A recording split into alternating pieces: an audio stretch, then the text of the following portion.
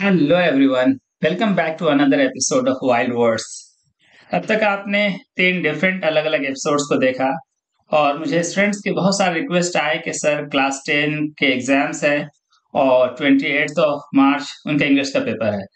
तो मैं आज आपके लिए एक बहुत ही स्पेशल एपिसोड लेकर आया हूँ, जिसमें फ़र्स्ट फ़्लाइट जो बुक है, उसके कंप्लीट प्रोज सेक्शन को 150 से ज़्यादा ऑलमोस्ट 200 ऑब्जेक्टिव्स को मैंने कवर किया है। और आपके रिक्वेस्ट पे मैंने ये किया है, इसलिए मैं उम्मीद करता हूँ कि आपका भरपूर प्यार मिलेगा। इसे लाइक भी करेंगे चैनल को सब्सक्राइब करें। और जल्द ही आने वाले एपिसोड में मैं पोएट्री सेक्शन ग्रामर सेक्शन और आपसे रिलेटेड क्लास एट से लेकर के क्लास ट्वेल्व तक के बहुत सारे स्टडी मटेरियल्स को मैं आपके साथ शेयर करने वाला हूँ।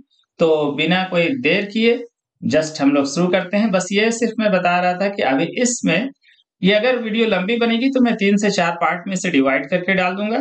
आप दोनों देख सकते हैं, एक कंप्लीट वीडियो भी, लगभग 40 45 मिनट्स में ये पूरे बुक का रिवीजन आपका हो जाएगा, और फ्रोज सेक्शन का। और अगर आपको लगे वो ज़्यादा है तो पार्ट पार्ट में डिवाइड करके तीन, चार पार्ट में वो भी आप देख सकते हैं। तो चलिए let's get started there are eleven chapters जैसा कि आपको पता है अ लेटर टू गॉड से लेकर के Nelson Mandela long walk to freedom two story two stories about flying सो होते हुए जो आपका लास्ट जो इलेवेंथ चैप्टर है द प्रपोजल तो हम लोग चैप्टर को शुरू करते हैं। फिर से मैं रिक्वेस्ट करूँगा, चैनल को लाइक कीजिए, सब्सक्राइब कीजिए और कमेंट करके अगला वीडियो क्या करना है कैसे करना आप ज़रूर बताइए। जैसा कि मैंने बताया कि इसमें मैं मल्टीपल चॉइस क्वेश्चंस को, लेकिन मैं मल्टीपल चॉइस नहीं दे रहा हूँ। मैं क्या कर रहा हूँ? सिर्फ़ राइट आंसर दे रहा हूँ। थ्री रॉन्ग आंसर्स मैं वहाँ से पहले ही एलिमिनेट कर चुका हूँ। या तो मैं वन लाइनर आंसर्स की तरह या शॉर्ट क्वेश्चन की तरह या ऑब्जेक्टिव क्वेश्चन की तरह मैंने सारी चीज़ को कवर किया है या फिल इन द ब्लैंक्स और हाँ सिनोनिम्स एंटोनिम्स जो आपको क्वेश्चंस में पूछा जाता है। तो चलिए the first chapter is a letter to God ठीक है? बड़ी इंटरेस्टिंग स्टोरी है जो आप पढ़ चुके हैं। Who has written this story ये क्वेश्चन तीन चार तरीके से पूछा जाता है। आपको पता है, बहुत कॉमन मोस्ट क्वेश्चन है कि किसने इस स्टोरी को लिखा है, या who wrote the story who author this story या नेम द ऑथर अलग अलग तरीके से पूछा जाएगा। The answer is G L Fuentes why did Lencho need money Lencho को पैसे की ज़रूरत क्यों थी? To save his family from hunger उन्हें इसलिए ज़रूरत थी ताकि अपने परिवार को भूखा रहने से बचा सके, ताकि भूखे रहने की नौबत नहीं आए। What did Lencho hope for hope यानी आशा या उम्मीद। लेंचो को किस चीज़ की उम्मीद थी? क्या चीज़ का आशा था उन्हें? A shower of rain or at least some drizzling यानी उन्हें उम्मीद थी कि अच्छा खासा बारिश और नहीं तो कम से कम हल्की फुहार भी हो। What look like new coins किस, क्या चीज़ लेंचो को न्यू कॉइन्स की तरह, यानी नए सिक्के की तरह मालूम हो रहा था? The answer is rain drops और फिर आपको पता चलेगा कि जो बिग रेन ड्रॉप्स था, वो टेन सेंट पीसेस की तरह और जो small rain drops five ten pieces से उन्होंने कंपेयर किया है। How much money did he demand उन्होंने कितने पैसे डिमांड किए थे? गॉड को जो उन्होंने लेटर लिखा था, लेंचो ने तो उन्होंने डिमांड किया था हंड्रेड पैसेस। पैसेस क्या है? अलग अलग जगह के करेंसी को, कहीं की करेंसी को आप डॉलर कहते हैं, कहीं कहीं की करेंसी को रुपया कहते हैं, कहीं की करेंसी को टाका कहते हैं अलग अलग जगह दिनार, कहीं दिरहम। इसी तरीके से पैसेस भी करेंसी का नाम है। The post master collected seventy pesos with great effort अब आपको पता है कि उन्होंने अपने लेटर में गॉड से तो हंड्रेड पैसेस मांगा, लेकिन पोस्ट मास्टर अपने सारे एम्प्लॉयज़ और साथियों के साथ कुल मिलाकर के सेवेंटी पैसेस को कलेक्ट कर पाए। How was Lencho satisfied Lencho कब सेटिस्फाइड हुआ था? Seeing the field of ripe corn with flowers वो सेटिस्फाइड यानी संतुष्ट? वो जब उन्होंने देखा कि जब फ़ील्ड में फूल लगे हैं और पूरी तरीके से फ़सल तैयार है, तब वो देख करके वो बहुत संतुष्ट थे। बस उन्हें सिर्फ़ इंतज़ार थी बारिश की। Where was Lencho's house situated Lencho का घर कहाँ पर सिचुएटेड था? कहाँ पर अवस्थित था? On top of the hill वो पहाड़ी के ऊपर था। वट डिस्ट्रॉयड द फ़ील्ड किस चीज़ ने पूरे फ़ील्ड को तबाह कर दिया, बर्बाद कर दिया? The answer is hello storm यानी ओलावृष्टि, जो पत्थर, जो आसमान से गिरता है, जिसे हम कहते हैं कि बर्फ़ की बर्फ़ का गिरना, खूब बर्फबारी हुई। What did the, what did you think of the post office employees? वो पोस्ट ऑफ़िस एम्प्लॉयज़ के बारे में क्या सोच रहे थे वो? यानी सॉरी वो पोस्ट ऑफ़िस एम्प्लॉयज़ के बारे में सोच रहे थे कि अब बंच ऑफ़ क्रुक्स और डिसऑनेस्ट पीपल ये दोनों आंसर हो सकता है आपका। यानी बंच ऑफ़ क्रुक्स कह सकते हैं, बदमाश लोग जो अच्छे लोग नहीं थे और डिसऑनेस्ट भी बेईमान लोग। तो वो उन लोगों के बारे में अच्छी राय नहीं लग रहे रख रहे थे। इसलिए कि आपको पता है कि उनको लगता था कि God can never make a mistake so definitely he would have sent hundred pesos लेकिन ये पोस्ट ऑफ़िस एम्प्लॉयज़ जो हैं, इन्होंने थर्टी पैसेस गायब कर दिया। हु और what was the only hope left for Lencho यानी लेंचो के लिए आखिरी उम्मीद क्या बच गई थी? ऑब्वियसली हेल्प फ्रॉम गॉड उनकी आखिरी उम्मीद तो अब ईश्वर से मदद थी। Next how did the field look after hailstorm जब पूरी बर्फबारी हुई, इसके बाद फ़ील्ड कैसा हो गया था? The field look as if it was covered in salt ऐसा लग रहा था यानी पूरे मैदान में सॉल्ट यानी नमक चारों तरफ़ से बिखेर दिया गया, यानी पूरी तरीके से सफ़ेद हो गई थी धरती, है ना? बर्फ़ की चादर लगता बिछ गई थी नमक की। Lento compared the large raindrops to new coins of 10 cents and small ones to 5 cent pieces ये मैं बता चुका हूँ कि ये रेन ड्रॉप्स तो कंपेयर करता है पैसे से, लेकिन जो बड़ी बड़ी बूंदे, टेन सेंट्स और स्मॉल जो ड्रॉप्स थे, फाइव सेंट पीसेस उनको लग रहे थे। Lencho compare the damage with a plague of locusts ये बहुत बहुत इंपॉर्टेंट है। सॉरी कि लेंचो ने जो ये पूरे के पूरे डैमेज हुआ, पूरा फ़ील्ड तबाह हो गया, उसको किस चीज़ से कंपेयर किया? मानो कि पूरे प्लेग आ गया हो, किस चीज़ का? लोकस्ट का। लोकस्ट क्या है? जो सैकड़ों हज़ारों की तादाद में उड़कर आते हैं, जो कीड़े और वो पूरे का पूरे लग जाते हैं और खेतों को तबाह कर देते हैं। है ना? उड़ने वाले वो एक तरह का कीड़ा होता है। The post master was contented और सेटिस्फाइड द पोस्ट मास्टर क्या हुआ था? वो कंटेंटेड या सेटिस्फाइड थे अपने राइट कॉर्न को देख करके, है? फ़सल को पके हुए देख कर यहाँ एक बात समझना ज़रूरी है। मैंने लिखा कंटेंटेड और सेटिस्फाइड देखिए, ये कंटेंटेड का ही मीनिंग होता है सेटिस्फाइड ऐसे वर्ड्स को हम कहते हैं सेनानिमस वर्ड्स या सिरोनिम्स अब देखिए सिरोनिम्स क्या है? चूँकि मैं फिर बता रहा हूँ कि देखिए, ये जो बुक है आपके बिहार बोर्ड, झारखंड बोर्ड, इसके अलावा और भी जगह पढ़ाई होती है, चूँकि एनसीआरटी की बुक है। तो जो सीबीएसई के स्टूडेंट्स हैं, वो बहुत तो चलिए, चूँकि उनको सारे सब्जेक्ट इंग्लिश में पढ़ना होता है तो यहाँ हमारे स्टूडेंट्स को कभी कभी अपनी बात को एक्सप्रेस करने में प्रॉब्लम होता है। तो कभी कभी वो कंफ्यूज करते हैं कि सरनेम्स क्या हुआ एंटोनिम्स क्या हुआ। तो synonyms are the words with the same meaning यानी लगभग लगभग एक ही जो मीनिंग देने वाला है। एमिकेबल के लिए फ्रेंडली वर्ड है। जैसे आपने पढ़ा होगा the post master was fat and amicable man post master कैसा था? वो मोटा ताज़ा और खुश मिजाज आदमी था एमिकेबल फ्रेंडली इन नेचर तो इसी के लिए वर्ड आया फ्रेंडली दैट मीन एमिकेबल इस वर्ड इस तरह के वर्ड्स को कहते हैं सरनेम्स और एंटोनिम्स कहते हैं वर्ड्स विद एंटी और अपोजिट मीनिंग आप ऐसे याद रखिए, यानी S for synonym S for same A for antonym और ए फॉर एंटी और ऑपोजिट याद रखिएगा कि जो एंटोनिम से मतलब ऑपोजिट वर्ड पूछा जा रहा है जैसे सेटिस्फाइड का डिससेटिस्फाइड डे का नाइट मॉर्निंग का इवनिंग इस तरह के ऑपोजिट वर्ड को कहते हैं एंटोनिम्स है ना? विपरीत अर्थक शब्द या विलोम शब्द और सिनोनिम्स को कहते हैं समानार्थक शब्द या आ, क्या कहा जाता है? समानार्थक शब्द कहा जाता है जैसे या फिर एक और वर्ड उसके लिए आता है देखिए मैं भूल रहा हूँ हिंदी में क्या कहते हैं इसे श्रेणिमस मतलब समानार्थक या पर्यायवाची शब्द यस याद आया पर्यायवाची शब्द और एंटोनिम्स हो गया विविधार्थक या विलोम शब्द जैसे देखिए he was angry seeing the money seventy pesos Earlier, he was not surprised saying it, yeah, saying the money, because he had unwavering और फॉर्म फेथ इन गॉड यहाँ भी एक वर्ड है अनवेवरिंग और फॉर्म यानी अडिग विश्वास, ईश्वर पे ऐसा विश्वास जो टूटने वाला नहीं है। तो पहले तो सेवेंटी पैसेज को तो देख के गुस्सा हो जाता है। हालाँकि पहले वो जरा भी सरप्राइज़ नहीं था जब उसे इन्वेलप दिया जाता है। ही वॉज़ क्वाइट श्योर कि गॉड तो डेफिनेटली मनी भेजेंगे। सो वो जरा भी सरप्राइज़ नहीं था। अब आते हैं next chapter Nelson Mandela long walk to freedom देखिए लॉन्ग वॉक टू फ्रीडम ये आपको मालूम होना चाहिए it's an autobiography written by Nelson Mandela ये जो चैप्टर का नाम है, चलिए, इनके लिखे हुए बुक का भी नाम है, जिसका, जिसमें से एक्सट्रैक्ट या एक छोटे से हिस्से को आपकी बुक में प्रिस्क्राइब किया गया है। नेल्सन मंडेला जिन्होंने साउथ अफ्रीका के फ्रीडम के स्ट्रगल में बहुत बड़ा उनका कंट्रीब्यूशन है, और he was the first president और you can say the first black president of South Africa तो he belong to the party named African National Congress तो ये आपको याद रखना है कि Nelson Mandela was the first president ठीक है ऑफ़ साउथ अफ्रीका या फिर कह सकते हैं first black president of the South Africa और दूसरी बात कि he belong to the African National Congress जैसे आपको पता है कि हमारे फ्रीडम मूवमेंट को जब पढ़िएगा, स्वतंत्रता आंदोलन को लगभग हर बड़े जो आंदोलन करता थे उस वक्त इंडियन नेशनल कांग्रेस को बिलोंग करते थे, है ना? या उस पार्टी से अपने आप को एफिलिएट करते थे। तो आज बहुत सारी पार्टियाँ हैं। इसी तरीके से वो नाम याद रखिएगा अफ्रीकन नेशनल कांग्रेस मैंने याद रखने के लिए कंपेयर किया ताकि आपके दिमाग में याद हो जाए। He defined the meaning of courage as trying for victory over fear उन्होंने कहा कि करेज एक्चुअली क्या है? करेज ये नहीं कि किसी को डर नहीं लगे, बल्कि ये है जो आदमी अपने डर पे जीत पा ले। यानी अपने डर को अपने काबू में कर ले, वही असल करेज है। The oath ceremony took place at sandstone amphitheatre country's greatest wealth is its people sorry तो ये जो कह रहा था कि ओथ सेरेमनी कहाँ पर लिया गया था? सैंडस्टोन एम्फीथिएटर में। और कंट्री का जो ग्रेटेस्ट वेल्थ है वो क्या है? उनके मुताबिक ये वहाँ के लोग हैं।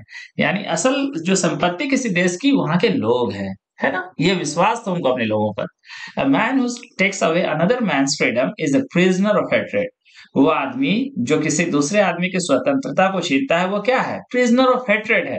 यानी वो नफरत का खुद ही प्रिजनर है जो बंदी है, next what was the nation needed to be liberated from यानी देश को किस चीज़ से आज़ाद करने की ज़रूरत थी? वो पॉवर्टी हंगर अपाथिड और gender discrimination and deprivation poverty आप जानते हैं, गरीबी हंगर यानी भूख अपाथिड कहते हैं किसी तरह का भेदभाव, खासकर काले गोरा का भेदभाव, इस तरह का। और जेंडर डिस्क्रिमिनेशन लिंग भेद, आप जान रहे हैं। और डिप्रिवेशन किसी चीज़ को वंचित कर देना, यानी मूल मूलभूत सेवाओं से भी वंचित कर दिया जाना। ये वो चीज़ें थी जिससे किसी देश को आज़ाद करने की ज़रूरत थी, यानी हम जब बात कर रहे हैं साउथ अफ्रीका की, कि दीज वर द थिंग्स ये आंसर आएगा आपको क्वेश्चन आएगा तो आप लिखिएगा। ठीक है ना? Poverty hunger apartheid gender discrimination and deprivation next question he wanted to thank the African patriots who no longer existed question आता है, वो किसको थैंक करना चाहते थे? किसके शुक्रिया अदा करना चाहते थे? किनको धन्यवाद ज्ञापन करना चाहते थे? तो उन देशवासियों को, उन पैट्रियट्स यानी देशभक्तों को जो अब मौजूद नहीं है, जिन्होंने आज़ादी की लड़ाई में अपने जान गंवा दी, है ना? According to Nelson Mandela every man has two obligation Nelson Mandela के मुताबिक हर एक आदमी के कंधे पे कहिए दो प्रकार की जिम्मेवारी है। The first obligation is to his family his parents his wife and children. Actually basically word तो फैमिली है। उसी के एक्सटेंडेड पार्ट कहिए पेरेंट्स यानी माता पिता वाइफ एंड चिल्ड्रन सब है।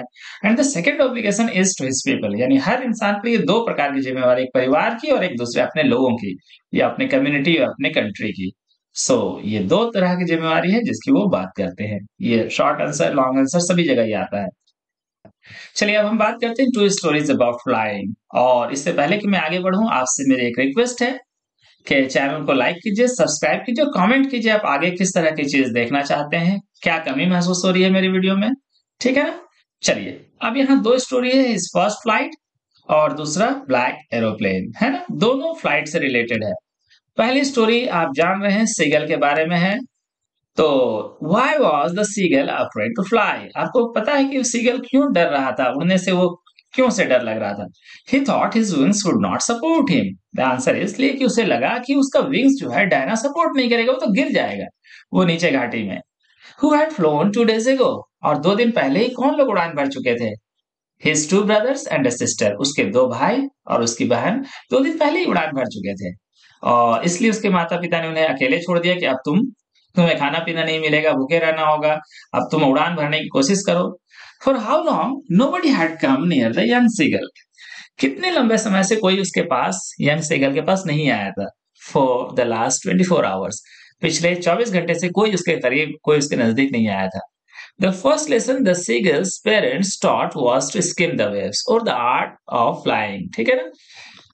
तो ये जो पहला लेसन है, जो सीगल के पेरेंट्स ने उसे दिया था, वो कैसे वेव्स को स्किम करना है? यानी तैरने को लेकर के और उड़ने को लेकर के अपने डायनो को किस तरीके से, यानी डायनो को चलाना है, ये उनका, उनके पेरेंट्स ने सिखाया था।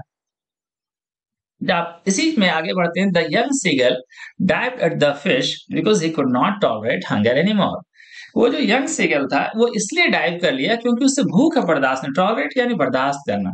हंगर भूख आप जानते हैं कि अब उसे लग रहा था कि भूख बर्दाश्त नहीं होगा, आखिरकार वो जंप कर देता है। He cried begging his her mother to bring some food यानी हर की जगह हा, हो हिज होगा कि वो आप, वो इसलिए चिल्ला रहा था, चीख रहा था ताकि अपने मदर से वो फ़ूड मांग रहा था, खाने के लिए अपने लिए कुछ मांग रहा था। After seeing the mother coming towards him the seagull was happy और जब वो देखता है बर्ड सीगल कि उसकी माँ उसकी तरफ़ आ रही है तो ही बिकेम वेरी हैप्पी है ना? बहुत खुश हो जाता है। What is green flooring green flooring किसे कहा गया चैप्टर में?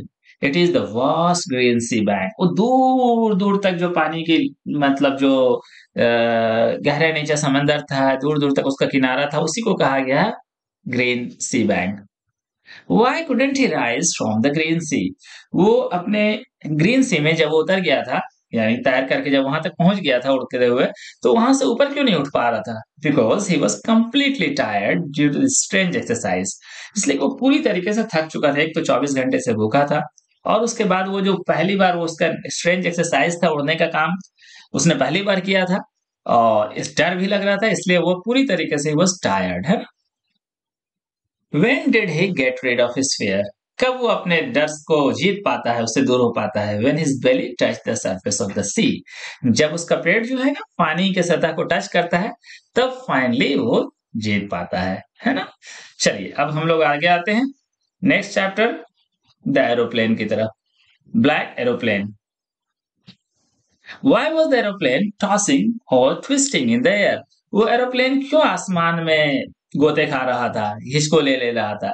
As it was stormy night बाकी का बात पूरी कर सकते हैं कि as it was stormy night the plane was tossing और ट्विस्टिंग इन द एयर है?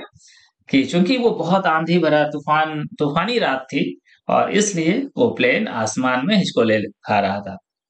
What time was it when the narrator look at his watch वो उस वक्त कितने बज रहे थे जब नरेटर अपने वॉच को देखते हैं? उस वक्त बज रहा था डेढ़ बजे, यानी वन थर्टी ए एम आपको पता है कि बारह बजे रात के बाद से एम कहलाता है और फिर बारह बजे दिन के बाद से फिर वो पीएम कहलाता है। What was dead and could not answer क्या चीज़ डेड हो गया था जो जिससे कोई जवाब नहीं मिल रहा था? The answer is radio radio पूरी तरीके से डेड था और इसलिए एरोप्लेन से कहीं कोई, कहीं चीज़ की तरह, कहीं से उसे कोई जवाब नहीं मिल पा रहा। In the beginning of the chapter the weather seemed fine हम देखते हैं कि चैप्टर के शुरुआत में मौसम बहुत अच्छा था। फ़र्स्ट पैराग्राफ में आपने पढ़ा होगा ना ब्लैक एरोप्लेन में। व्हाट इंडिकेटेड इट कैसे आपको पता चला कि मौसम साफ़ सुथरा था? तो उसमें कुछ वर्ड्स या फ्रेजेस यूज़ किए गए हैं, जैसे rising moon star shining and the clear sky और क्लाउडलेस स्काई यानी चाँद निकला हुआ था। सितारे निकले हुए थे। तो यानी पता चलता है कि आसमान बिल्कुल साफ़ था, कहीं कोई बादल नहीं था, कोई आंधी तूफ़ान नहीं था क्लाउडलेस स्काई था। Where was the pilot going और पायलट कहाँ जा रहे थे? तो पायलट जो है the pilot was going to England answer याद रखिएगा he was going to England what did the other pilot who try to have the first one से जो जो दूसरा पायलट जो पहले पायलट की मदद करना चाह रहे थे, यानी दूसरा प्लेन जो आसमान में दिख रहा था, वो क्या कहता है? यानी वो पायलट क्या कहता है? वो कहता है फॉलो मी फॉलो मी वो कहते हैं, मेरे पीछे आओ, मेरे पीछे आओ, है ना? What was confirm by the woman at the control tower और कंट्रोल टावर से उस औरत ने क्या कहा? क्या कंफर्म किया? That there was no other airplane और एरोप्लेन कि वहाँ तो कोई भी दूसरा एयरप्लेन नहीं था। ये बात उसके लिए बड़ी सरप्राइजिंग और शॉकिंग थी, क्योंकि उस पूरे आंधी और तूफ़ान से निकालते हुए जो दो प्लेन लेकर आई और उसे पता चला कि आसमान तो में तो कोई दूसरा प्लेन नहीं था। ठीक है चलिए तो ये था end of that chapter and now will move on to the next chapter from the diary of Anne Frank है ना? अब सबसे पहला पूछा जाएगा हु हैज़ ऑथर्ड और रिटन द डायरी कौन लिखता है डायरी तो ऑब्वियसली द चैप्टर का नाम ही है from the diary of Anne Frank तो ये एनी फ्रैंक की लिखी हुई डायरी है। On what subject Anne had to write Anne को किस सब्जेक्ट पे लिखने को मिला था? यानी वो किस सब्जेक्ट उनको लिखना पड़ा? दो सब्जेक्ट था द नेसेसिटी ऑफ़ टॉकिंग और वो टाइटल ऑफ़ दिस से क्या था? जिस टाइटल को टीचर ने दिया था, वो था a chatter box is actually जो टाइटल था अ चैटर बॉक्स तो उस, इस टाइटल पे उन्होंने सोचा कि मैं ऐसा लिखूँगी ऐसा लिखूँगी, मैं इस बात को साबित कर दूँगी कि हमारे लिए बात करना ज़रूरी है है ना? और मैं क्यों बात करती हूँ इतना ज़्यादा?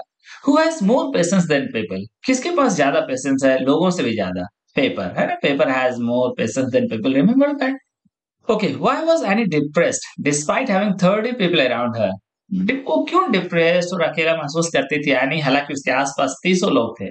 Because she had no real friend to confide in इसलिए कि उसके पास कोई सच्चा दोस्त नहीं था जिससे कि वो बात कर सके, जिससे दिल की बात कर सके। इसलिए उन्होंने डायरी लिखना शुरू किया।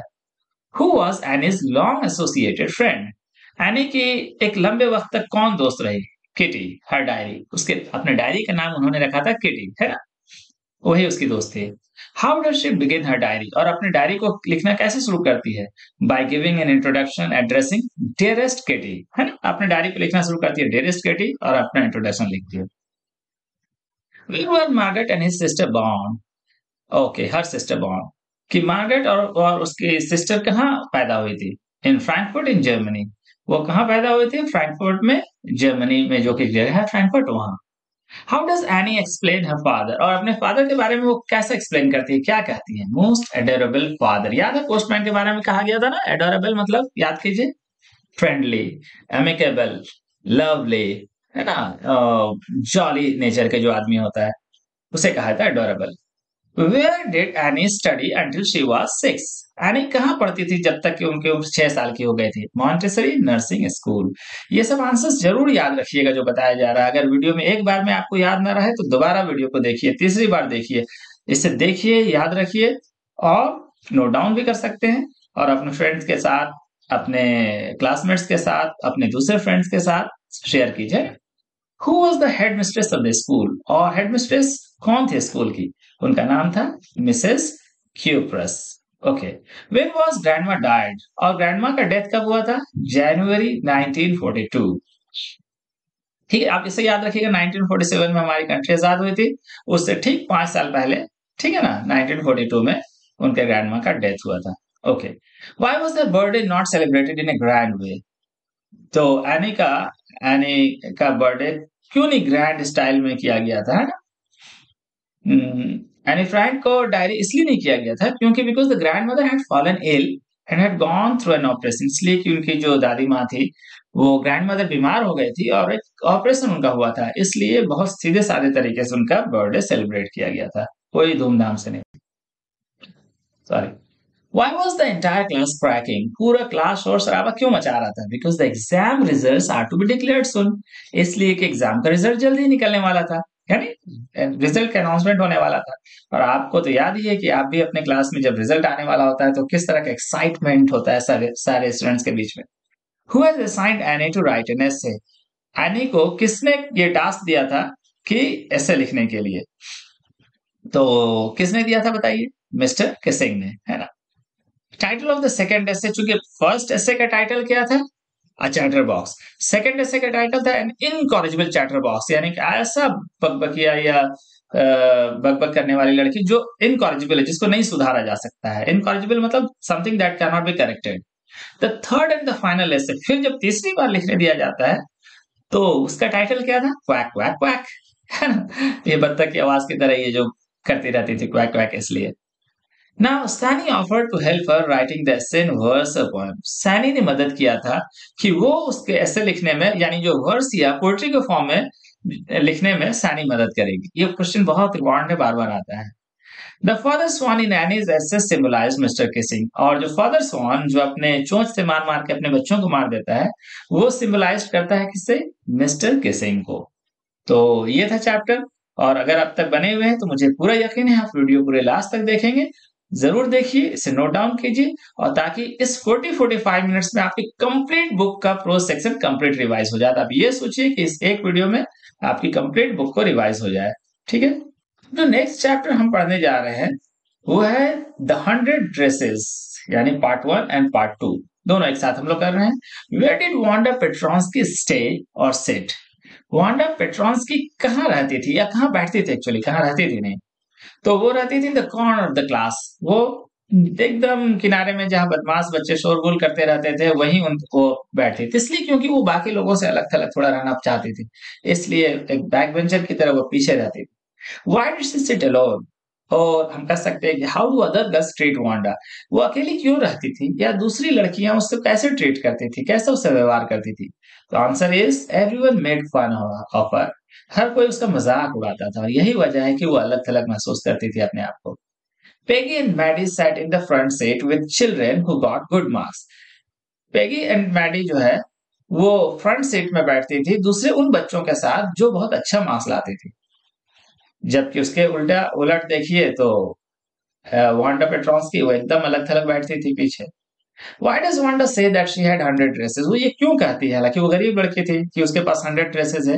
टू काउंटर अदर गर्ल्स ताकि दूसरी लड़कियों का मुँह बंद कराया जा सके, है who secretly dislike Wanda being treated so badly कौन है जो अंदर ही अंदर पसंद नहीं करता था कि वांडा का इस तरह से मज़ाक उड़ाया जाए, लेकिन वो कुछ कहती नहीं थी। जी हाँ वो मैडी है। मैडी को ये बुरा लगता था बट शी केप क्वाइट है ना? She kept quiet next who was Miss Mason Miss Mason कौन थी? देयर क्लास टीचर उनके क्लास टीचर थे, जिन्होंने लेटर पढ़ा था उनके फादर का, है ना? वांडा के फादर का, वही मिस मैसन उनके क्लास टीचर थे। Where was Wanda house situated अब ये इम्पोर्टेंट है कि वांडर घर कहाँ था? बहुत दूर जाते जाते टॉप ऑफ़ ए हिल लेकिन नाम याद रखना है बॉगेंस हाइट्स अगर आपका नाम दिया रहेगा बॉगेंस हाइट्स तो आप ये आंसर कीजिएगा, और अगर नाम नहीं दिया होगा तो लिखिएगा on top of a hill ठीक है ना?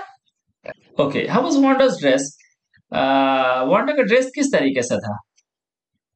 तो it was faded blue clean but not iron properly वो जो है ना, जिसका रंग थोड़ा धुंधला हो गया था, हल्का हो गया था, साफ़ सुथरा था, लेकिन आयरन नहीं किया हुआ था प्रॉपरली है ना?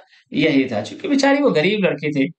Why did she wear same dress daily why did she wear same dress daily वो क्यों एक ही तरह का ड्रेस या एक ही ड्रेस को रोज पहनती थी? बिकॉज़ ऑफ़ पॉवर्टी इसलिए कि वो गरीब लड़की थी। उसके पास बहुत सारे ड्रेस नहीं थे। गरीबी होना अपने आप में कोई खराब चीज़ नहीं है। लेकिन क्या है कि उसके पास बहुत सारे ड्रेस नहीं थे, इसलिए दूसरी लड़कियाँ उसका थोड़ा मज़ाक उड़ाया करती थी। How do how do know that Maddie was also poor आपको कैसे पता है कि मैडी भी गरीब लड़की थी? वो भी पुअर थी।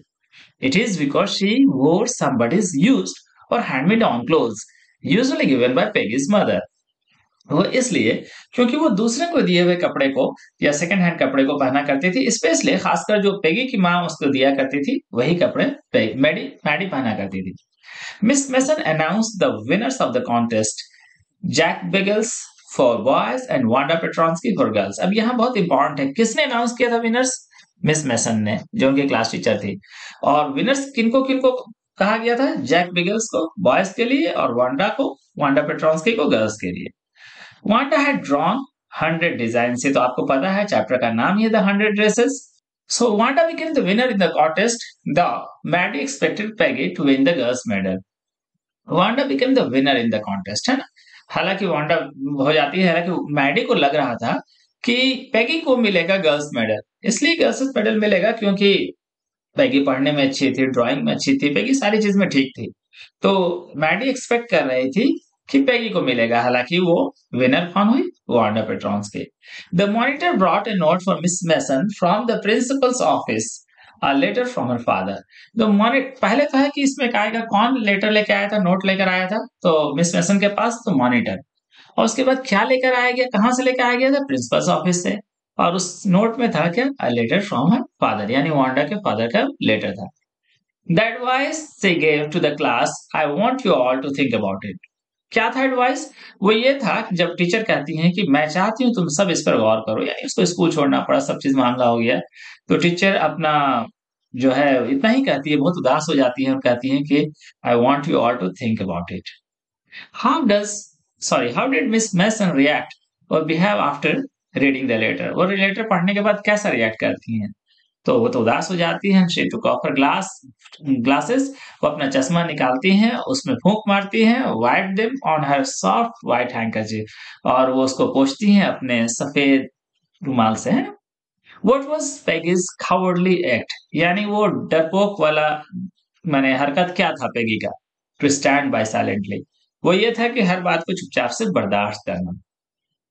Peggy knock formally on the door but there was no answer Peggy ज़ोर से जो है धक्के मारती है या नॉक करती है दरवाजे पर, लेकिन क्या होता है? देर वॉज़ नो आंसर यानी जब वो अंडा से मिलने के लिए मैडी और पेगी जाते हैं तो वहाँ कोई जवाब नहीं मिलता है। They wrote a friendly letter to Wanda to inquire about her with a lot of excess for love. ये याद रखिएगा ऑब्जेक्टिव क्वेश्चन में कि उन्होंने एक दोनों ने मिल करके एक फ्रेंडली लेटर लिखा था वांडा को ताकि उसके बारे में बताया किया जा सके कैसी है क्या चल रहा है और बहुत सारा एक्स उन्होंने निशान बनाया था सिग्नेचर किया था अपने प्यार का इजहार किया था ठीक है ना Okay, when Maddie looked carefully at the drawings, she became sad and her eyes were blurred. जब मैडी देखती है बहुत ध्यान से ड्राइंग को तो क्या होता है, वो बहुत उदास हो जाती है और उसकी आँखें भर आती है ना? Why tears blurred the eyes of Maddie उसके आँख धुंधलापन क्यों हो जाता है? यानी क्यों आँखों में आँसू भर जाता है? तो when Maddie looked at the drawing जब मैडी ड्राइंग की तरफ़ देखती है स्टूड बाय वो खड़ी हो जाती है सेड नथिंग और कुछ नहीं कहती है। Earlier they made fun of Wanda but Wanda had been nice to her all the time इसलिए कि पहले वो हमेशा मज़ाक उड़ाया करते थे वांडा का, लेकिन वांडा हमेशा उन लोगों के साथ अच्छा व्यवहार करती थी। कभी उन लोगों का पलट करके उनका मज़ाक नहीं उड़ाती थी। This made her eyes blurred with tears और इसी की वजह से उसके आँख में आँसू भर जाते हैं। What does they find in the drawing और ड्रॉइंग में क्या नज़र आता है? है ना? द फाइनल है the answer the she found that the face and head of the drawing just look like her यानी जो उन्हें नज़र आता है कि ये जो उसमें फेस है और चेहरा है वो सब किसकी तरह है? खुद उसी की तरह नज़र आ रहा है यानी पेगी को यही दिखता है। चलिए let's move on to the next chapter अब हम लोग बात करते हैं अपने अगले चैप्टर ग्लिम्सेस फ्रॉम इंडिया अब यहाँ आपको पता है कि इसमें तीन चैप्टर आपको पढ़ना है glimpses glimpses of India sorry glimpses of India में आप बेकर फ्रॉम गोवा खोर एंड टी फ्रॉम आसाम ये तीन चैप्टर है ठीक है ना? तो तीनों चैप्टर की बात करते हैं। सबसे पहला आ, baker from Goa the bakers according to the author still exist in Goa जो बेकर्स है लेखक के मुताबिक आज भी कुछ बेकर्स मौजूद है जो गोवा में, जो इस बिज़नेस में मौजूद है। हु हैड वैनिस्ड फ्रॉम और लेफ़्ट गोवा लॉन्ग एगो कौन लोग हैं जो अब बहुत पहले ही गोवा छोड़ चुके हैं और अब जो गायब हो चुके हैं, अब कहीं है नहीं? और who were lovers of bread कौन वो लोग हैं जो ब्रेड बहुत पसंद करते थे?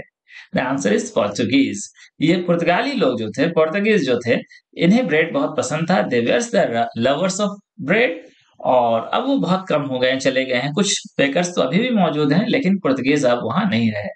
है ना?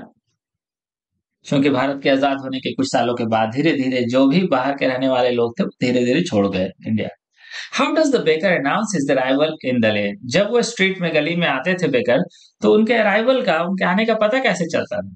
the answer is the baker carried a special bamboo baker जो एक खास तरह का बैम्बू लिए होते थे he banged it on the ground its third and jingle sound was a kind of announcement to people of his arrival यानी जो वो आवाज़ बाँस को लिए जाते थे, उसी पर फिर वो अपना सामान रखते थे बास्केट को और वो बेचते थे।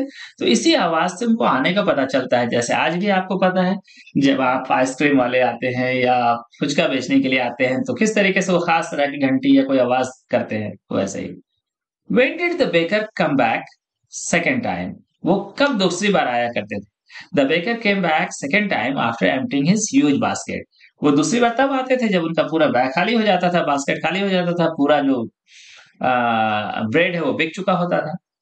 The children pushed one another to get the bread bangles और वो बच्चे एक दूसरे को धक्का मुक्की क्यों करते थे? आपको याद आ रहा होगा स्टोरी कि उनको ब्रेड बैंगल्स पहना दिया जाता था। यानी चूड़ी जो है बैंगल्स के जो चूड़ी होता है या बाला होता है, उस ब्रेड का बना हुआ। और उसे लेने के लिए वो दौड़ पड़ते थे। Okay next baking profession was indeed a profitable profession during those days यानी जो ये जो है ब्रेड रोटी, या फिर कहिए कि वड़ा पाव डबल पाव, ये जो ना अलग अलग नाम से आप जानते हैं, ये आज भी, यानी उन दो, उस दौर की बात की जा रही है, एक प्रॉफिटेबल प्रोफेशन एक अच्छा खासा आमदनी वाला एक बिज़नेस था.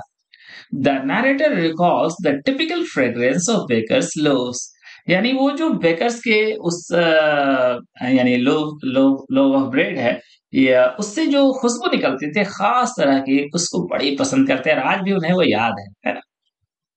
So the sacred bread which was given as marriage gift was called bol जो सैक्रेड ब्रेड यानी वो जो शादी में गिफ्ट की तरह दिया जाता था, उसे कहा जाता था बोल और what was prepared by ladies in daughter's engagement जब बेटी की मंगनी होती थी एंगेजमेंट होती थी तो क्या बनाया जाता था लेडीज़ के ज़रिए?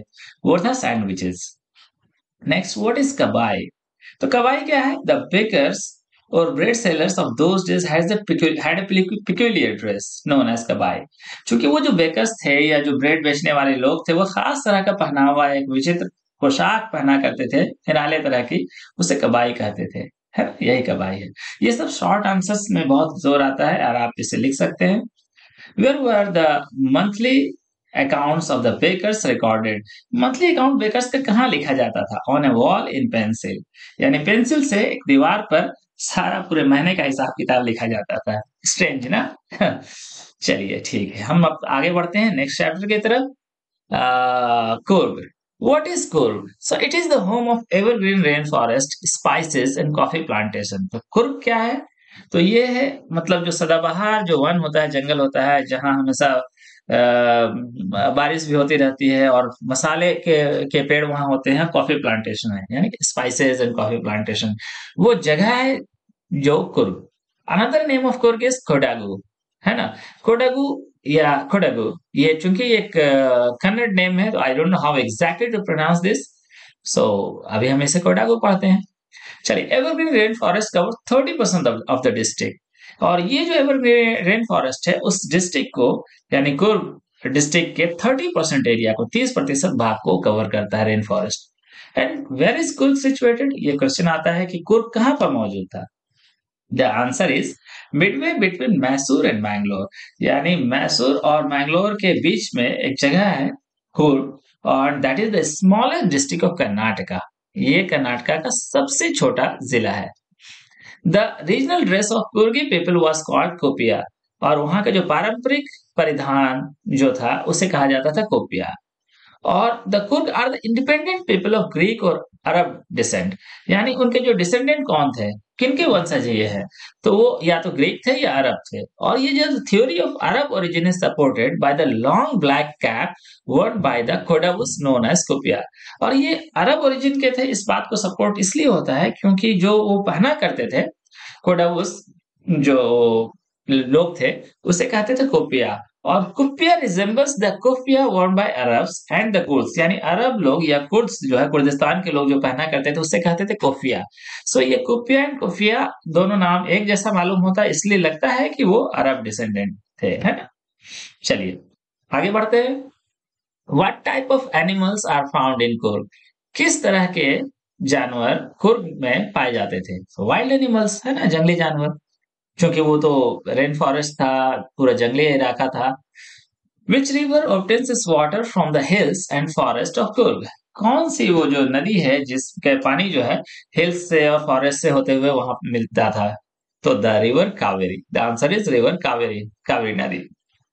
Coorgi homes have a tradition of hospitality hospitality means अतिथि सत्कार करना, यानी ये जो इसकी रिवायत है, मेहमान नवाजी की जो तौर तरीका है, या फिर कहीं अतिथि सत्कार का ये जो परंपरा है, ये कुर्गी लोगों के बीच में था, है ना? ये एक बहुत अच्छी परंपरा उनके बीच थी। The Coorg regiment is one of the first most decorated regiments of Indian army और ये जो कुर्ग रेजिमेंट है, ये सबसे पहला जो इंडियन आर्मी का बहुत डेकोरेटेड रेजिमेंट्स में से एक रेजिमेंट है। सोचिए कितना पुराना है ये। Now, Kodavus are the only people in India permitted to carry firearms without a license. वो कौन लोग हैं कोडाउस ही हैं जिनको कि आज भी बिना लाइसेंस के हथियार रखने की इजाज़त है उन्हें परमिशन है? What is referred as a piece of heaven? क्या चीज़ है जिसे कहा जाता है पीस ऑफ़ हेवन ऑब्वियसली कुल है ना चलिए नेक्स्ट चैप्टर हम पढ़ते हैं ये थर्ड पार्ट है जिसमें कहा गया tea from Assam who has never seen so much of greenery किसने कभी इतना हरा भरा इलाका नहीं देखा था? तो आंसर इज़ राजवीर, है ना? राजवीर अपने दोस्त के साथ उनके उनके घर आए थे मिलने के लिए, उनके टी गार्डन को देखने के लिए। The green paddy fields gave way to tea bushes यानी वो जो ग्रीन टी पैडी फ़ील्ड था, वहाँ से होते हुए वो जो रास्ता कहाँ पहुँच जाता है? टी बुशेस तक, यानी चाय के बगान तक, चाय का जो मैंने झाड़िया थी, चाय का बगान था वहाँ तक। Why was Rajvir excited Rajvir इतना एक्साइटेड क्यों था? बिकॉज़ ही हैड सीन और spotted such green garden first time in his life इसलिए कि उन्होंने इस तरीके से जो इतना हरा भरा गार्डन पहली बार अपने ज़िंदगी में देखा था, इसलिए वो बहुत एक्साइटेड था। है ना? आंसर याद रखिएगा, वो क्यों इतना एक्साइटेड थे? उत्सुक थे। The tea plants look tiny in comparison to tall sturdy trees और ये जो टी प्लांट्स थे, वो बड़े बड़े सदाबहार वन के, यानी उन पेड़ों के मुकाबले में, उसके, उसकी तुलना में ये बड़े छोटे मालूम हो रहे थे। The second sprouting period last from May to July और ये जो सेकेंड स्प्राउटिंग पीरियड है, वो मई से जुलाई के बीच में होता है, जिसमें कि बड़ी अच्छी क्वालिटी के पत्तियाँ, यानी चाय हुआ करती है। Who pluck the tea leaves चाय की पत्तियों को कौन तोड़ रहा था? ग्रुप ऑफ़ वेमेन यानी औरतों का एक ग्रुप था, झुंड था, जो ये काम कर रही थी। औरतों का औरतों का, लड़कियों का है। The tea bushes were spread on both sides of the road और जो ये जो चाय का बगान था, चाय की झाड़ियाँ थी, रोड के दोनों तरफ़ फैला हुआ था, बाएँ भी और दाहिने तरफ़ भी। Where was the tea first drunk चाय पहली बार कब पी गई थी? In China around twenty seven hundred BC यानी आप याद रखिए कि आज से लगभग पाँच हज़ार साल पहले की बात है, जब सबसे पहली बार चाइना में चाय पी गई। ना who was Pranjol's father Pranjol के पिताजी कौन थे? उनका नाम क्या था? मिस्टर बैरुआ और tea was drunk more as medicine in six century Europe than as beverage यानी जो चाय थी, वो मेडिसिन की तरफ़ पी जा रही थी। यानी आज की तरह सिर्फ़ चाय, हम लोग चाय पीने, आदत की तरफ़ पीते हैं, चलो चाय पीना है। तो ऐसा नहीं, बल्कि मेडिसिन की तरफ़ पी जाती थी। चलिए, अब तक साथ बने के रहने के लिए बहुत बहुत धन्यवाद। थैंक यू मैं फिर से आपसे रिक्वेस्ट करूँगा कि डेफिनेटली आप लाइक करें सब्सक्राइब करें और शेयर भी करें वीडियोस को और कमेंट ज़रूर करें कि आप चाहते हैं कैसे मैं वीडियो को बनाऊँ। तो आप आधे से ज़्यादा पूरी लगभग 60 परसेंट वीडियोज़ को देख चुके हैं। अब हम लोग आगे बढ़ते हैं ताकि पूरे के पूरे बुक का प्रोज चैप्टर का आपका रिविजन हो सके, ठीक? Now we move on to the next chapter Mijbil the otter है ना? The author told his friend of his desire to have an otter as a pet वो अपने फ्रेंड से क्या अपनी अपनी अपने, यानी ख्याल का इजहार करते हैं या फिर अपनी सोच को बताते हैं कि वो क्या चाहते हैं पेट के रूप में रखना? एक ऑटर को चाहते हैं रखना। Who goes to Basra to get the tame otter और बसरा कौन जाता है? मैक्सवेल यानी वही ऑथर है जो जाते हैं, जाने के लिए जाते हैं बसरा से अपने लिए टेम ऑटर को लाने के लिए, यानी पालतू ऑटर को लाने के लिए। The otters were tamed and trained by the Arabs यानी ऑटर्स को कौन, यानी पालतू बनाता था, पालता था, पोसता था, उनको ट्रेन करता था ट्रेनिंग देता था, वो अरब्स थे, है ना? What group of animals does otters belong to यानी ऑटर्स किस तरह के मतलब ग्रुप को बिलोंग करते हैं? साइंटिफिकली जिस ग्रुप को बिलोंग करते हैं, या बायोलॉजिकल नाम, जो उनका नाम है, वो कहलाता है मस्टिलिन्स मस्टिलिन्स है ना? जी। मिस और Mijbil's favourite toys were marbles ऐसे हालाँकि कुछ और भी टॉयज का नाम लिया गया है बुक में आपके लेकिन जो उसके मोस्ट फेवरेट टॉय था वो क्या था मार्बल्स जिससे वो खेला करता था otter where could the author find an otter easily और वो ऑर्डर कहाँ आसानी से मिल सकता था मतलब ऑथर को ये ऑर्डर कहाँ आसानी से मिल सकता था इन द टिग्रिस मार्सेस अरब अरब के टिग्रिस मार्सेस में वो आसानी से मिल सकता था इसलिए ऑर्डर वहाँ जाते हैं। सॉरी ऑथर वहाँ जाते हैं। Next the otter look like a dragon या फिर दूसरे तरीके से आ सकता है तो लाइक ए ड्रैगन याद रखिएगा या फिर दूसरे आपके बुक में जो दिया हुआ the creature resemble medieval concept dragon है ना? यानी जो मध्यकालीन जो सम, जो पीरियड है उस समय के कंसेप्ट ड्रैगन की तरह वो दिखता था वो उसका चेहरा ऑर्डर का। What did the author not expect author क्या एक्सपेक्ट नहीं करते? Cloud of dust when it shook its body यानी जब अपने शरीर को जब झकझोरता है वाटर तो पूरा धूल गर्दा उससे निकलता है। और ये जो उन्होंने बिल्कुल भी एक्सपेक्ट नहीं किया था क्योंकि वो रेगिस्तानी इलाके में रहने वाला जानवर था तो पूरा धूल गर्दा था। The Arabs kept the otter in a bag और अरब्स कहाँ रखा करते थे? उसे बैग में रखा करते थे, या किसी खास तरह के बोरे वगैरह में। For the first twenty four hours Mijbil was neither hostile nor friendly और जब लाने के बाद शुरू के चौबीस घंटे तक ना तो वो बहुत फ्रेंडली हो रहा था, दोस्ताना और ना ही वो, यानी कोई हमलावर हो रहा था, ना तो कोई, यानी ना तो वो दुश्मन समझ रहा था, ना दोस्त समझ रहा था, है ना? वो अलग थलग था थोड़ा। What did the otter enjoy lot और ऑर्डर को सबसे ज़्यादा मज़ा कहाँ आया? आपको तो पता है बाथरूम में। हालाँकि वो किचन भी जा रहा था बेडरूम जा रहा था, सब तरफ़ जा रहा था, लेकिन सबसे ज़्यादा वो एंजॉय किया वो बाथरूम में। In London Mijbil and Maxwell the author played ping pong game वो लंदन में मिजबिल जो है और मैक्सवेल दोनों क्या खेलते हैं? तो पिंग पोंग गेम खेलते हैं। ठीक है? The second night the otter came to the narrator's bed और वो, ये इंपॉर्टेंट है कि वो कब नाइटर के बेड में आया था सोने के लिए थोड़ी देर के लिए तो सेकेंड नाइट पहले रात तो पहला दिन तो थोड़ा अलग लग रहा था सेकेंड नाइट वो आता है did the otter take interest in the home at first क्या वो ऑटर जो इंटरेस्ट लेता है सबसे पहला? No initially he was apathetic और इनडिफरेंट यानी इसको कोई फ़र्क नहीं पड़ रहा था। वो बिल्कुल इनडिफरेंट है to the place and the author बाद में क्या होता है? Later on he followed the author बाद में वो जहाँ जहाँ वो ऑथर जा रहे थे, साथ में वो फॉलो कर रहा था। तो यहाँ एक वर्ड आता है apathy means absence of interest जिसमें कोई इंटरेस्ट नहीं हुआ उसका कहता है? एपैथी चलिए, हम लोग we move on to the next chapter madam rides the bus और अब आप ऑलमोस्ट हम लोग अपने आखिरी कगार की तरफ़ पहुँच रहे हैं, है ना? लास्ट के तीन चैप्टर्स बच गए।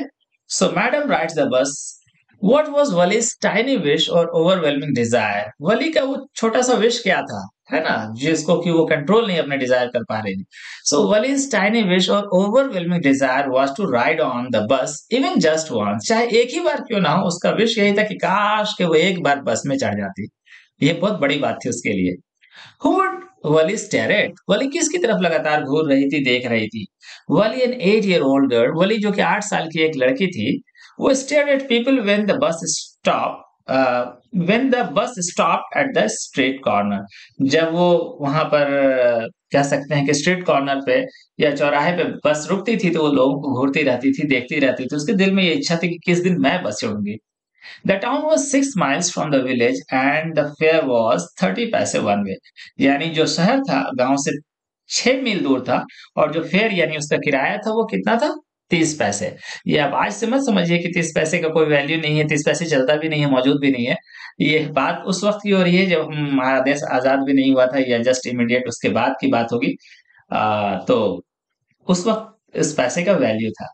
What was fortune to Valli और वली के लिए एक बहुत बड़ा खुशकिस्मती की बात क्या थी? थर्टी पैसे इवन तीस पैसे रखना उसके लिए बड़ी बात थी। How did the driver drive the vehicle to the airport और ड्राइवर एयरपोर्ट की तरफ़ जा रहा था तो वो किस तरीके से चला रहा था गाड़ी? लाइक ए बुलेट गोली की तरह एकदम, है ना? ना type of man was the conductor वो कंडक्टर किस तरह का आदमी था? He was a jolly short वो बहुत खुशमिजाज आदमी था, है ये वर्ड जॉली शॉर्ट आया है पहले शायद। Who calls Valli madam Valli को मैडम कह कौन पुकारता है? ओबियसली द कंडक्टर बस का जो कंडक्टर था, वो पुकारता है मैडम कहकर there were only six passengers on the bus bus में कितने लोग थे? सिर्फ़ छह पैसेंजर, छह यात्री थे। Her total save money was sixty paise. और ये भी याद रखिए कि वली के पास जो टोटल पैसा, जो बचत था उसका सिक्सटी पैसे था। She was bored in the slightest and greeted everything with the same excitement. वो जरा भी बोर नहीं हो रही थी और पूरे रास्ते भर वो सेम एक्साइटमेंट से एक एक चीज़, दूसरी चीज़, तीसरी चीज़ देख रही थी। And what is referred to as a lovable beautiful creature और क्या चीज़ है जिसको बहुत लवेबल ब्यूटीफुल क्रीचर वो कहती है? ऑब्वियसली अ काउ जब वो काउ को देखती है तो कहते वाह कितना सुंदर है. Cow lost its charm in the moment and it looked horrible और जब वो एक्सीडेंट की वजह से मरे हुए गाय को देखती है तो अचानक उसका मन दुखी हो जाता है, उदास हो जाता है है ना? और वो बहुत उसको बुरा लगने लगता है। वोट साइडेंट वाली किस चीज़ ने ये क्वेश्चन आता है कि किस चीज़ ने वाली को बहुत उदास कर दिया the sight of a dead cow oh dead काव है ना? डेड काव या उस दृश्य को देख करके बेचारी वो विचलित हो जाती है और वो बहुत उसे बुरा लगता है, उदास हो जाती है। When did mother use to take nap nap कहते हैं जब दिन में हम हल्के फुल्के नींद लेते हैं खाने के बाद उसे, कि माँ की आदत थी हल्की नींद दिन में कब लेने की? Around two to four in the afternoon दो से चार बजे के बीच में खाने के बाद वो हल्की नींद लिया करती थी।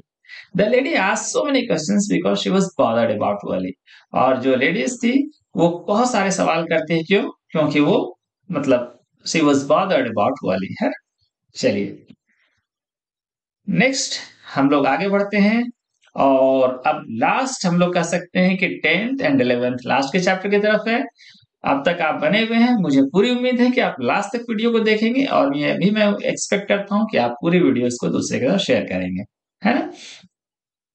All right the summer at Banaras Gautam Buddha was born in 563 BC Gautam Buddha के बारे में ये पूरी की पूरी चैप्टर है, उनके बारे में स्टोरी है।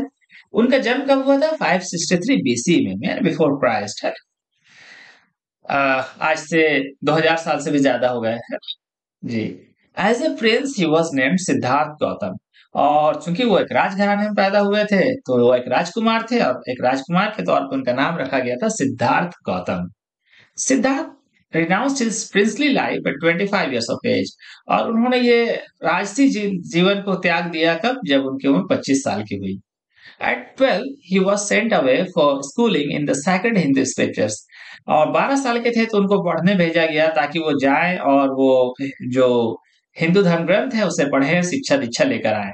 वो पढ़ते हैं चार साल बाद सोलह साल की उम्र में वापस लौटते हैं राजमहल वहीं रहते हैं और जब पच्चीस साल के होते हैं तब फिर वो राजघर राजमहल को त्याग भी देते हैं। When her son dies, Kisa goes from house to house in order to ask people some sort of medicine to save his life. जब एक्चुअली कीसा के बेटे का मृत्यु की मृत्यु हो गई थी तो वो घर घर जाते हैं लोगों से मदद मांगने के लिए वो जाती है और वो क्या चाह रही थी? वो किसी तरह का मेडिसिन चाह रही थी है ना? वाई वॉज़ किसा गौतमी सैड ये क्वेश्चन पूछा जाता है कि किसा गौतमी क्यों उदास थी? Because only son had died की इकलौता बेटा जो था किसा का, वो वो बेचारा, उसकी मृत्यु हो चुकी थी, इसलिए वो बहुत उदास थी, वो चाह रही थी लोगों को कि वो ठीक हो जाए। Finally Kisa understood that death was common to all और अब बाद में किसा को समझ में आ गया कि डेथ का तो सामना हर किसी को करना है, हर किसी को मृत्यु को गले लगाना है, उससे कोई बच नहीं सकता। At 25, he was moved to see the problems of people and he left to seek the solution concerning the sorrow of people.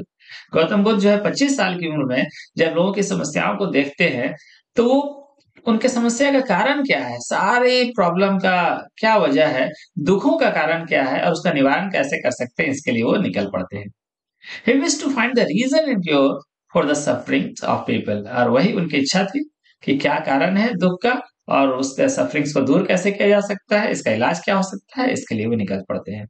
Kisa asked for medicine to bring her son back to life और किसा लोगों से मांगती है दवा ताकि वो ठीक किया जा सके, उसे दोबारा ज़िंदगी दी जा सके। Right. तो हम लोग बात कर रहे थे कि he wished to find the reason and cure for the suffering of people. कि वो लोगों की जो दुखों का कारण और उसका इलाज ढूँढने की कोशिश कर रहे थे, यानी दुखों का कारण क्या है और उसे ठीक कैसे किया जा सकता है? At Banaras he preached his first sermon और उन्होंने बनारस में अपना पहला जो कहिए ज्ञान के लिए जो जो बातें करते हैं, जो महापुरुष, जो ज्ञानी, है ना, इस तरह के लोग जो बात करते हैं, वो सरमन उन्होंने सबसे पहला बनारस में ही अपना सरमन दिया था। And where did Gautam Buddha sit वो कहाँ बैठा करते थे? Under fig tree known as Bodhi tree और द ट्री ऑफ़ विजडम है ना? एक फिग ट्री था जिसके नीचे वो बैठा, बैठते थे और उसे ही बोधि ट्री के नाम से जानते हैं या फिर ट्री ऑफ़ विजडम के नाम से भी जानते हैं अब ये था हम अपने लास्ट चैप्टर द प्रपोजल की तरफ़ बढ़ते हैं so Anton Chekhov is the writer of the play the proposal कौन है जो इस प्ले के राइटर क्योंकि ये एक नाटक है ड्रामा है और उसके राइटर हैं एंटन चेकअप बहुत फ़ेमस राइटर हैं What did Lomo do in excitement? Lomo excitement में क्या किया करते थे? In excitement, he started running. वो दौड़ना शुरू कर दिया करते थे. And why did Lomo want to show that document to Natalia? और वो क्यों डॉक्यूमेंट को लोगों, अपना डॉक्यूमेंट दिखाया करना, दिखाना चाहते थे? इसलिए क्योंकि to prove that Oxen Meadows belong to him वो ये साबित करना चाहते थे कि ऑक्सन मीडोज है, जिसके वो लेकर के झगड़ा चल रहा है, बात हो रही है, वो उनका है। नेक्स्ट है why did Natalia claim the land as theirs Natalia क्यों कहती है कि वो जो उनकी ज़मीन है, उनके या उनके परिवार की ज़मीन है? She says so because her grandparents, yani her grandfather and grandmother, thought that oxen meadows extended to burnt mass. ये इसलिए उनको लगता है कि उनके ग्रैंड पेरेंट्स ने कहा था या उन्होंने वो सोचते थे कि ये जो ऑक्सन मेडोज जिस ज़मीन को लेकर के झगड़ा चल रहा है, वो तो बर्न मास तक एक्सटेंड करता है। इसलिए उनकी है वो ज़मीन। फिर एक लंबी कहानी है जिसको कि आपने पढ़ा है, क्योंकि ये प्ले है, पूरा का पूरा एक नाटक है। और इस जगह अभी सिर्फ़ ऑब्जेक्टिव क्वेश्चंस का या फिर शॉर्ट क्वेश्चंस को कवर किया जा रहा है। मैं कंप्लीट डिटेल तो नहीं कवर कर सकता बट बहुत जल्दी मैं सारे चैप्टर्स को टेन मिनट्स में, यानी फाइव मिनट्स में चैप्टर का एक्सप्लेनेशन और फाइव मिनट्स में उसके इंपॉर्टेंट क्वेश्चन आंसर को डील करूँगा। तो आप बने रहिए मेरे साथ और मेरे चैनल वाइल्ड वर्ड को ज़रूर सब्सक्राइब कीजिए लाइक कीजिए, लोगों के साथ शेयर कीजिए और क्या कहता हूँ? आप कमेंट करके बताइए और आप क्या चाहते हैं। So final last two questions what is simply silly here क्या चीज़ सिंपली सिली है? It is simply silly to believe that Oxen Meadows are of Lomov ये एक अजीब सी बात थी कि मतलब ये बेवकूफ़ी भरी बात थी कि जब वो कहा जाता है कि ऑक्सन मीडोज लोमो का है। एंड एक बात इंपॉर्टेंट है, एक ऑब्जेक्टिव क्वेश्चन कि Lomov indicates that he has come with a proposal to Natalia Lomov ने उनके पिताजी से ये कह दिया था और उस बात को कि वो नतालिया के लिए रिश्ते के लिए यहाँ आए हैं है ना? वो प्रपोजल के साथ वो यहाँ आते हैं। So that is the end of the chapter and that is the end of the book मैंने इस वीडियो में कंप्लीट प्रोज सेक्शन को द फ़र्स्ट फ़्लाइट को जो एनसीईआरटी क्लास टेन के बुक है अपनी तरफ़ से कोशिश किया कवर करने का ताकि एक क्विक रिविजन भी आपके लिए हो जाए। साथ ही आप आ, के लिए ऑब्जेक्टिव या शॉर्ट क्वेश्चंस कवर हो जाए। सो Thank you very much for being with me so much. And thank you for your patient listening. See you soon in my next video. Bye bye. Take care. And don't forget to, yes, subscribe my channel. Huh?